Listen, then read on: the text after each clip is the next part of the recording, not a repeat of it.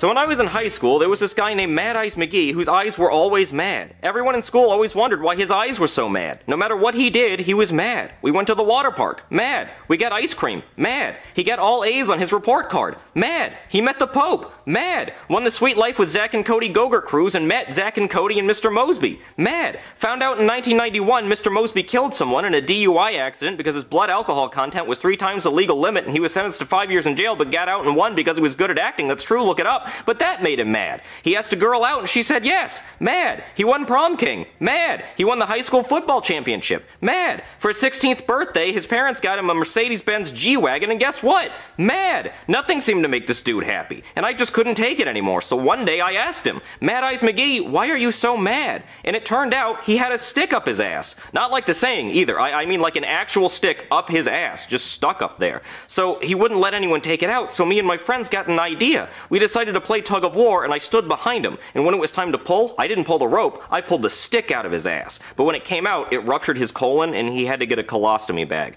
Then he was really Mad Eyes McGee. Man, I just feel bad for making him have to poop in a bag for the rest of his life. I just thought if I pulled the stick out of his ass, it might make him happier. I guess I should have just left it up there. Anyway, you think your son might have a stick up his ass? You can check. Okay. Hemorrhoids! Well, I don't see the stick, but I do see the hemorrhoids. Okay, so what's making him so mad? Well, what was he doing before he got mad? He was eating McDonald's. Oh no. What? Well, you're telling me those french fries are cold? I've been eyeing them and I didn't